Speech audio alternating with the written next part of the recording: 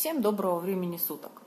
Сегодня мне хотелось бы рассказать об одном раскладе, который вызвал интерес среди подписчиков в соцсетях. Мне пишут, спрашивают про данный расклад, который я использую для тестирования денежного отношения а, человека, а, то есть отношения к денежкам и отношения денег к человеку. А, расклад интересный. Расклад могу сразу сказать, что взяла на вооружение у Сергея Савченко, таролога. Мне очень нравится этот расклад, он достаточно информативный. Более того, он при неблагоприятном стечении обстоятельств, проявляющемся в данном раскладе, может сказать нам, как скорректировать поведение свое и отношение к э, деньгам, чтобы в конечном итоге их в вашей жизни стало больше. Ну, здесь э, основные пять позиций. Четыре позиции из этого расклада говорят о том, что вы ощущаете к доходам, к прибыли, любите ли вы деньги, как вы к ним относитесь и так далее. А вот э, пятая позиция, она говорит именно о том, как деньги относятся к вам. И э, мы смотрим по позициям. Первая, вторая, третья, четвертая, пятая. Сейчас я буду пояснять. По первой позиции мы смотрим, а, какие эмоции вы испытываете и вообще испытываете ли вы эмоции а, к деньгам, то есть что вы чувствуете, считаете ли вы деньги злом, а, или наоборот вы рады им, когда они появляются, или вы достаточно безэмоционально к ним относитесь. Вторая позиция – это что вы думаете о том, что такое деньги. Опять же, это именно ваша ментальность, ваши мысли – а, и ваше сознательное отношение, контролируемое разумом. А, третья позиция – это отношение к тратам, то есть как вы на практике распоряжаетесь деньгами. И а, четвертая позиция – это духовность, то есть способны ли вы свои деньги тратить на других людей, не только на себя, насколько эгоистичны ваши траты. Ну и э, вот эта вот самая пятая позиция, которая говорит нам о том, как деньги относятся к вам. А, здесь э, мы можем, конечно, выкладывать уточняющие карты. Сразу могу сказать, что а, в данном раскладе а, я не буду упоминать имя человека, для которого он делается, но могу сказать, что это друг, хороший друг мой, для которого этот расклад и сделан мною. А, мы смотрим первую карту, это эмоции, то есть насколько составляют чувства, что говорят чувства а, к деньгам. И вот тут мы как раз таки видим по данной карте безэмоциональное отношение. У нас выпадает мечевая карта, тем более сильная, король мечей, которая говорит нам о том, что эмоции человек именно к деньгам не испытывает. Он абсолютно холодно, трезво оценивает ситуацию с материальным положением, и он абсолютно сознательно может принимать любые решения. То есть здесь нет ярко выраженных чувств, то есть там собирательство в копилочку, и денежки мои деньжатки, там сидеть их пересчитывать, он, скорее всего, не будет. То есть это достаточно властное и холодное отношение. Что думает, какова ментальность, то есть какое место на уровне сознания деньги занимают в его жизни. И вот тут нам попадается карта, тоже холодная карта, тоже мечевая карта. Рыцарь мечей.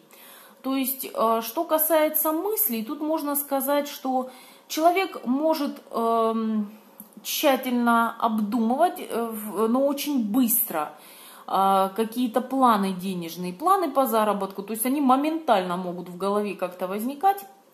И человек абсолютно сознательно, абсолютно холодно а, может все, допустим, свои траты, а, скажем так, сесть буквально и набросать вам бухгалтерский такой вот расчет моментально. Иногда где-то могут быть скоропалительные решения, конечно, по а, тратам или по заработку денег. Но это опять же отношение мысли холодное. Это не отрицательное отношение, это трезвый взгляд, но иногда несколько торопливые решения по поводу денег. Как человек деньги тратит. И вот тут мы видим карту рыцаря монет. Причем, посмотрите, у нас король, два рыцаря уже выпадает. И ни одной кубковой карты пока на сегодняшний момент мы не видим. По рыцарю монет можно сказать, что этот человек всегда старается.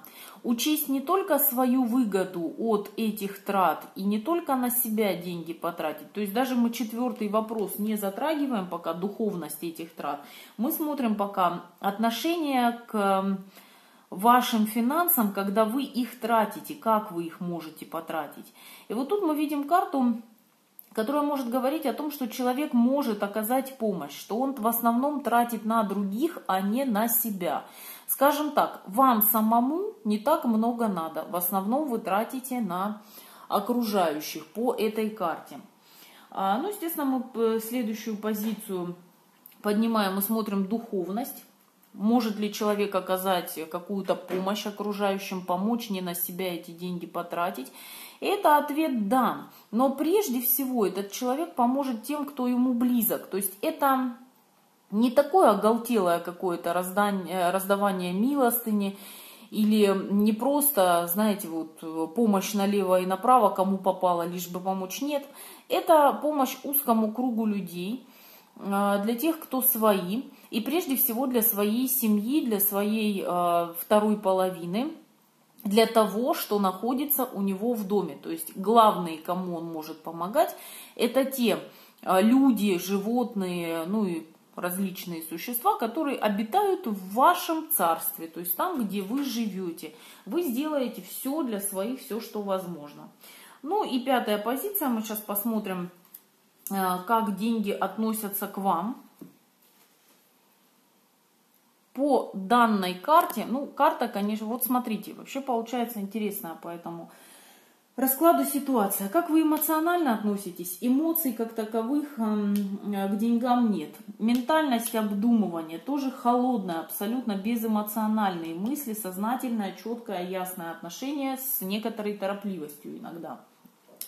Траты мы помогаем окружающим, прежде всего э, по духовности своим тем, кто рядом с тобой в доме, а потом уже всем, кто стоит в очереди дальше и отношение денег. Вот тут давайте мы все-таки достанем еще одну карту,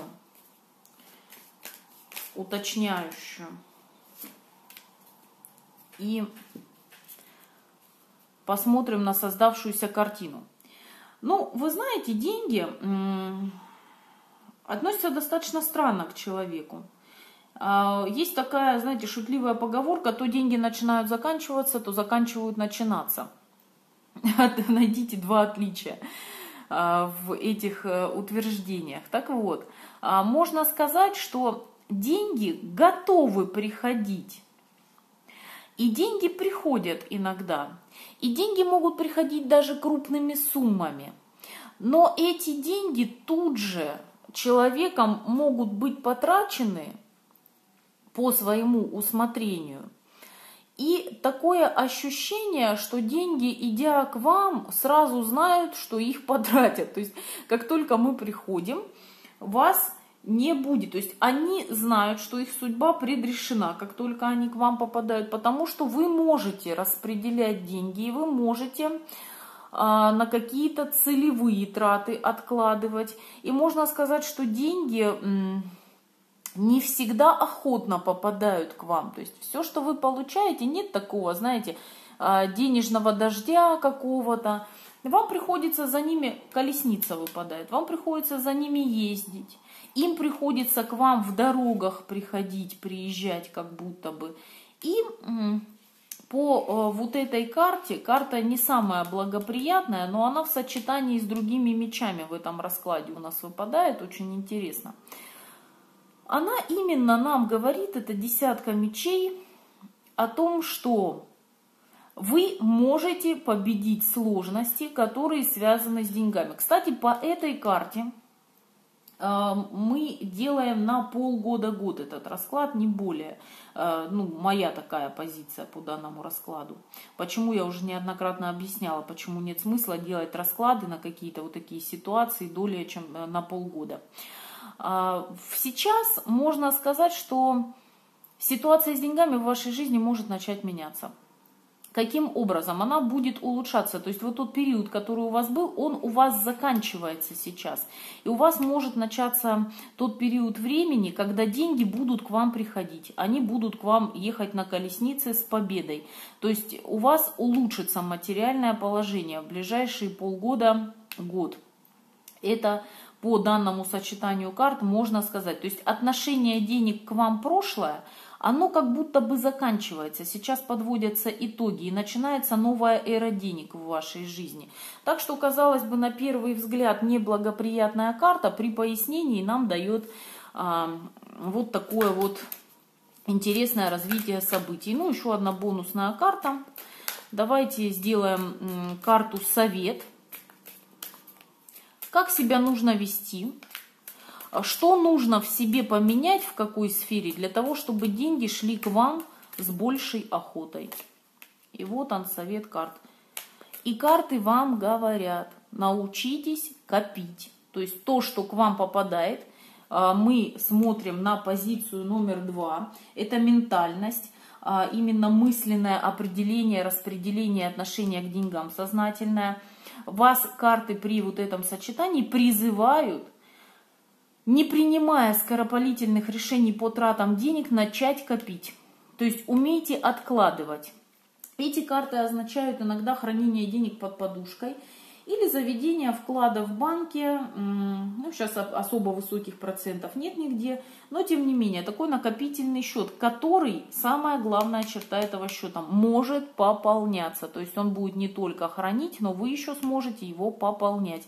Поэтому, пожалуйста, Уважаемый друг, товарищ и брат, которому а, я сейчас гадаю, а, уважаемый, открывай счет и хотя бы понемногу, хотя бы тысячу рублей, две тысячи рублей, начинай складывать туда, и деньги накапливаться будут, потому что они к тебе пойдут. Еще раз немножечко по позициям расклада я расскажу. Первая позиция – это эмоции – как эмоционально вы относитесь к деньгам? Вторая позиция – это то, что вы о них думаете на сознательном уровне, пытаясь отгородиться от эмоций. Отношение э, к тратам, то есть каким образом вы тратите. Это спонтанные какие-то траты, это траты по предварительному решению, это траты неосознанные, вы шопоголик или нет и прочее. Вот эта позиция третья нам может сказать. И четвертая позиция – это духовность, то есть насколько вы готовы поделиться тем, что у вас есть и с кем поделиться. И отношение денег к вам. То есть изначально неблагоприятный расклад у нас, как видите, переходит в новую эру, когда вы даже можете начинать копить. А, я надеюсь, что этот расклад был интересен и коллегам, и тем, кто просто для себя дома начинает гадать или гадает. Э, свою жизненную ситуацию пытаясь поправить. Вообще расклад достаточно информативный, расклад хороший, расклад показывает не только ваше отношение э, к деньгам, но и отношение денег к вам. И, конечно, можно доставать дополнительные карты, которые будут давать совет, как поступать для того, чтобы э, ситуация денежная в вашей жизни улучшалась. Ну, а я всем желаю прибыли, я всем желаю благополучия и благоденствия. Подписывайтесь на канал, ставьте пальцы вверх. А, ну и, конечно, кого заинтересовал данный расклад, вы можете писать в комментариях, может быть, кто-то им пользуется. Отдельное спасибо еще раз хочу сказать Сергею Савченко, у которого я подсмотрела этот расклад. Я с его разрешения сегодня э, делаю этот обзор. А, всем удачи и до встречи, всего доброго, до свидания.